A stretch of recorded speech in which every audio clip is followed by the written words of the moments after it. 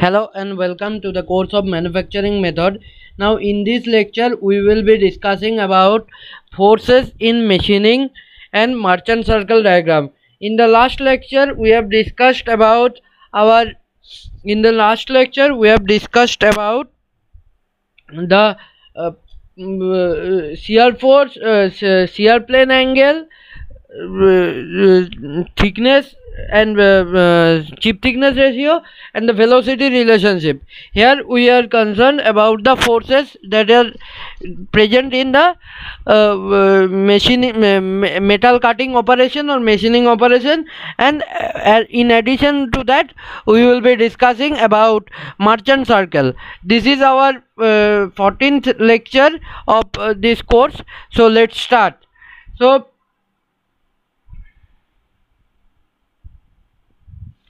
so what is the need of force analysis? The force analysis the need of force analysis is mainly due to the cutting force analysis is useful due to first it is useful due to due to it can uh, design for stiffness of the machine tool can be done. That means how much stiff the machine tool machine tool should be that can be understood from the force analysis first point. Second the workpiece can withstand uh, workpiece can withstand. How much uh, force can be withstand or whether the workpiece can withstand the uh, applied force or not that can be whether the workpiece can withstand the applied force or not. That can be predicted by force analysis. Study of machinability characters. The machinability characteristics can be studied by using force analysis.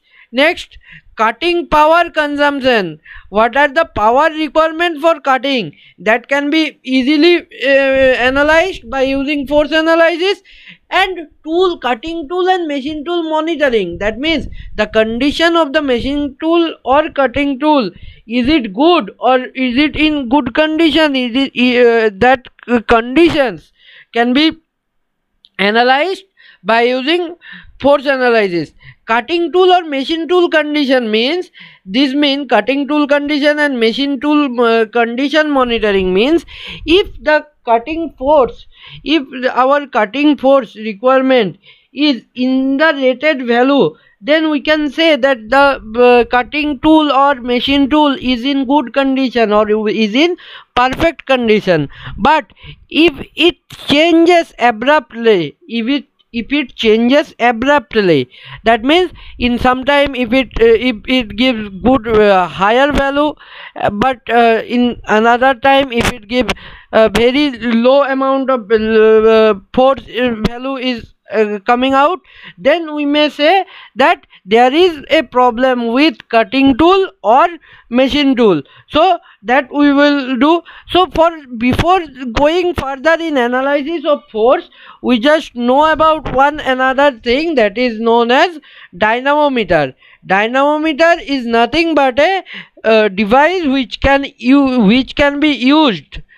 Dynamometer dynamometer is a device which can be used for for uh, uh, measuring the force while machining. Dynamo meter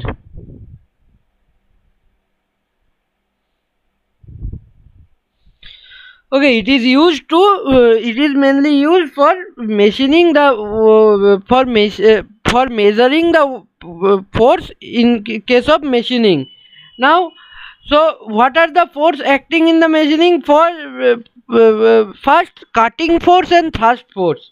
These two forces has been acting on the machining uh, and these two forces can easily be these two forces can easily be uh, measured by using dynamometer so see this is a tool chip tool workpiece interface and cutting force will be in the direction of the cutting speed that is V and Fc is the cutting force. And Ft normal to that cutting force Ft is the thrust force. Now if we put F now if we put Ft value Ft value here if we put ft value in this side and we want to uh, draw a uh, draw a resultant then this resultant then this resultant r then r will be the resultant. Now another set of force that may be occur due to the chip flow. So chip will flow from here.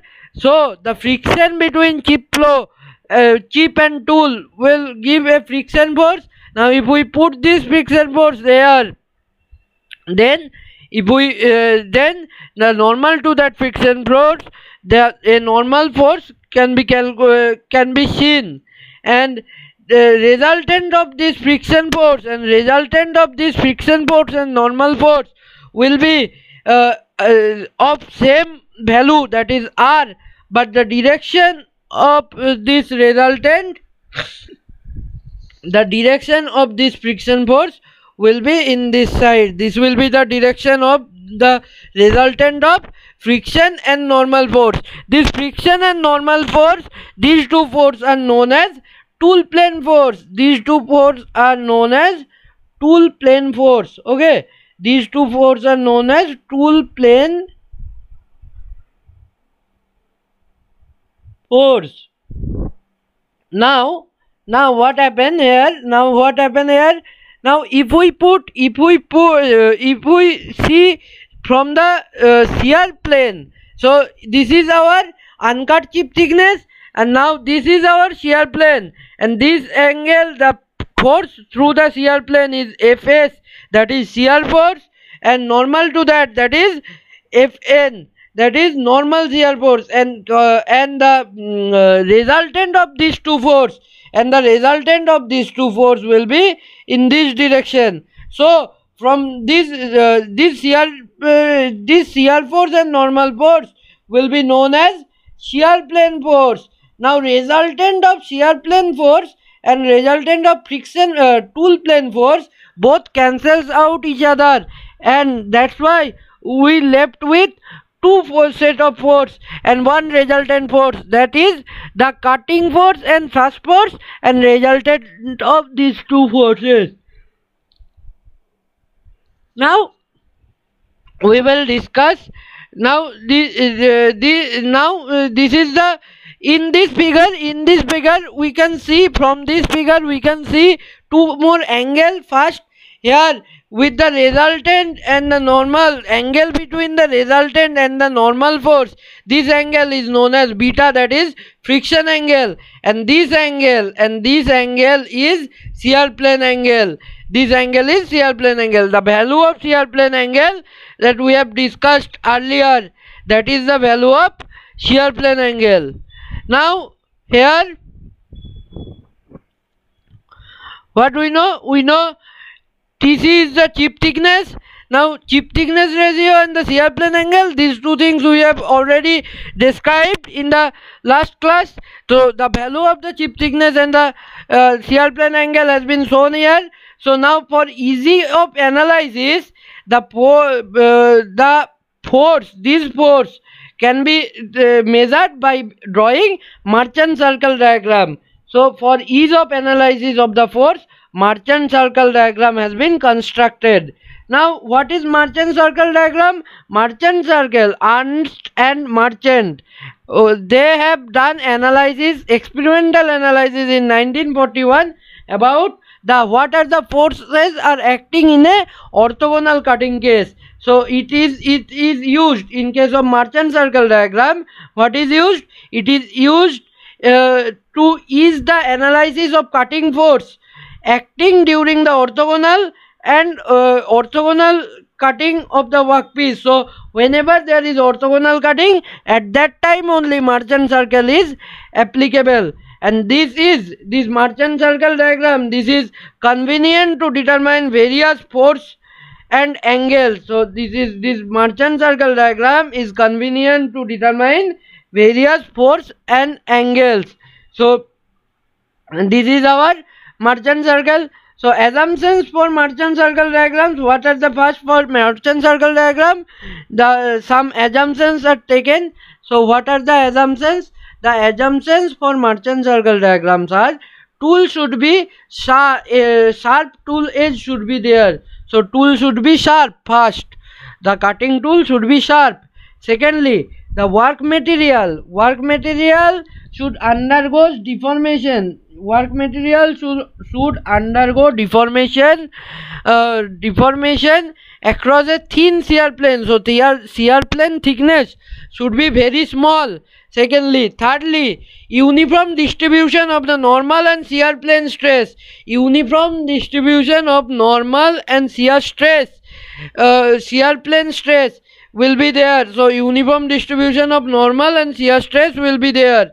Next workpiece is rigid and perfectly plastic. Workpiece should be rigid and perfectly plastic. Next is shear angle phi. That phi should adjust itself for minimum work. So phi should adjust itself for minimum work. Next the friction angle beta. Remain constant and independent of phi so friction angle should be constant and it is it should be independent of phi. And the width of the chip the chip width should remain constant. Chip does not follow. Uh, uh to uh, side uh, uh, chip does not follow uh, flow to the side or there should not be any side spread. But the main important thing is the uh, uh, cutting should be orthogonal cutting. That is most important. The for uh, merchant circle analysis the cutting should always be orthogonal cutting. And another uh, what are there? There the chip uh, the uh, cutting tool should be sharp first. Secondly the deformation should be through a thin shear plane. Third the uniform deformation should be there in the shear plane. Fourth workpiece should be perfectly rigid and uh, rigid and perfectly plastic. The shear angle or shear plane angle should be uh, should adjust itself. Shear plane angle should adjust itself for uh, uh for minimum work friction angle should remain constant and which is independent of shear plane angle and width of the chip should be remain constant. The chip so that means and another last thing that is chip should not follow uh, flow uh, to the uh, to side uh, uh, chip does not flow to the side or there is no side press that means there is no side spread should be there. So that is it. Now for merchant circle diagram how to construct a merchant circle diagram? See first we will construct same value fc this this uh, cutting force and thrust force.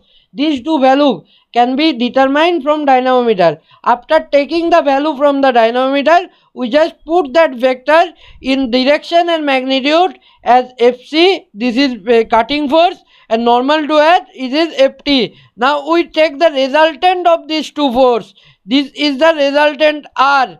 Now taking a taking this r as a diameter we draw a circle. Taking r taking the resultant as the diameter. Now this circle in this circle we just uh, draw the, the uh, tool plane forces. That is f and this is n this is our uh, tool plane forces that we include in the merchant circle. So this circle this circle is known as merchant circle and the radius of the merchant circle is half of the resultant. And uh, this is our shear plane force fs and it is normal to the shear plane force fn. This total whole construction is known as this whole construction is known as merchant circle diagram. Now here the the other terms are here. Phi is there uh, here. Phi is there. Phi is our shear plane angle. And this gamma gamma here is our gamma is our rake angle. Tc is the uh, uh length of the uh, uh, tc is the chip thickness after cutting and T0 is the uncut chip thickness ratio, V is the cutting speed or cutting velocity. Now we will see the solution of the Merchant circle diagram. Now we will see about the what are the solution of this Merchant circle diagram. See very clear, carefully. See just see very carefully that this is uh, uh, first we will solve for first we will solve for tool plane forces. Tool plan forces means first we will we want to find out about friction force and normal force. So for that we have to draw a perpendicular EG. See a perpendicular EG on above BC and DH to EG. So these two perpendicular has been drawn. Now we have to calculate about force F. This F F can be written as BG plus C. Now we can add BG plus GC. Now uh, that f can be written as this this f can be again written as bg this bg bg is the bg is the from this triangle we can write bg is equal to be 90 minus pi how 90 minus pi see this angle this is perpendicular to this. So this angle is pi that uh, the, this angle is also gamma. So so this angle is 90 minus gamma. So uh, bg will uh, obviously is equal to be into be cos 90 minus gamma plus plus what plus now gc and hg hd will be same because that this creates a rectangle. Now this is equal to hd now hd can be written as hd can be written as this is also gamma. Hd can be written as ft cos gamma. See ft cos gamma so that would give us f is equal to fc sin gamma minus ft a plus ft cos gamma. This is our f.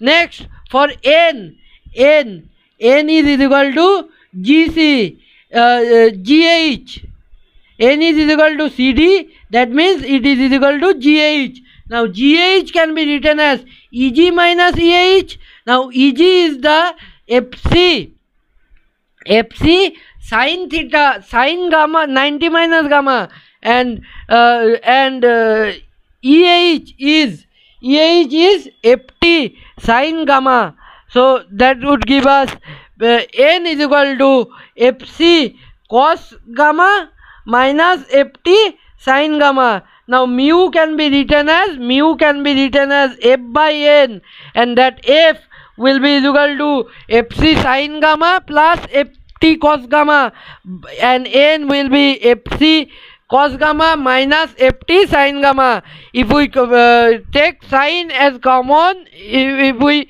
if we take uh, if we multiply 1 by cos x on up uh, both upper and lower side what will uh, we can find we can find mu is equal to fc tan gamma plus ft fc minus ft tan gamma. This is the value of? mu. Now this is the value of mu now mu uh, can be written as mu is equal to tan b. Now for shear plane force, now for shear plane force we can find out in the shear plane force. Similarly this we will discuss we can find out the shear plane force exactly by uh, similarly. So if shear plane force come out to be fs is equal to fc cos theta phi minus ft sin phi and fn will be is equal to fc sin phi plus ft cos phi. And the uh, additional result can be found out. Those additional results are so, like this.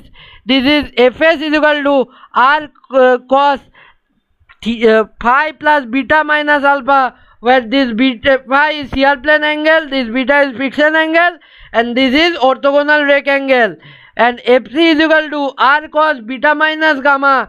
And from this above two equation we can write fc is equal to fs cos beta minus gamma by cos alpha plus beta minus gamma. And and fn is equal to fs tan fn is equal to fs tan uh, beta, tan alpha plus beta minus gamma so ft can be written as fn cos phi minus fs sin phi.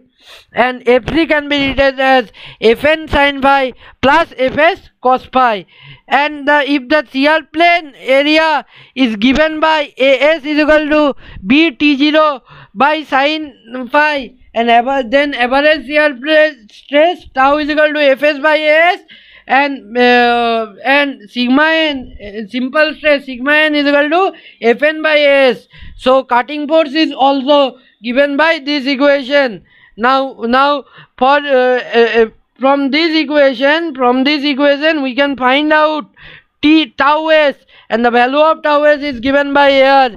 And assuming beta is independent of um, phi that means maximum stress. For maximum stress this will be equal to 0 so for maximum stress phi should be equal to 45 degree plus gamma by 2 minus beta by 2 that is it and the advantage of Merchant circle diagram what are the advantage? Is it easy quick and reasonably accurate determination of the several other other forces. Friction at the chip tool interface uh, and the shear stress can easily determine. Equation are uh, relating different forces can easily develop. And limitation it is only valid for orthogonal cutting and f by n ratio which can be predicted by uh, a Merchant circle diagram is not accurate. It is apparent. So thank you with that.